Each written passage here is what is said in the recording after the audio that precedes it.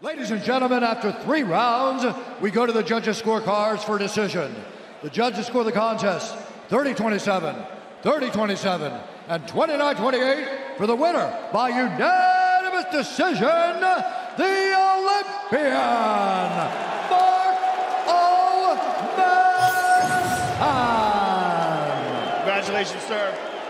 I'm here with the winner, Mark O. Madsen. Mark, an excellent performance moves you to 12 and 0, but maybe the most challenging fight you've had inside the octagon. Who knows? Three time Olympian, Olympic medalist, five time world medalist, currently undefeated in the UFC. Joe Rogan, let's go. We're here to win the whole.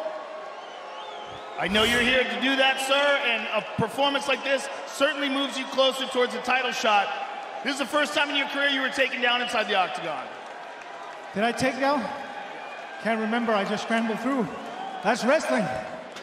That is wrestling. And, you know, Vinc Pichel was a, a worthy adversary, but you proved once again why you're one of the most difficult guys to face inside this octagon with your grappling skill. Give us your thought on where you would like to go next. Like, what, what level of fighter would you like to face next?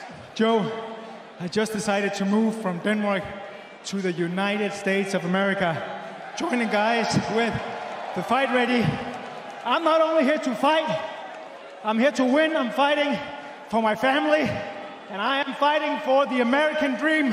I'm here to make it. Thank you, Jacksonville.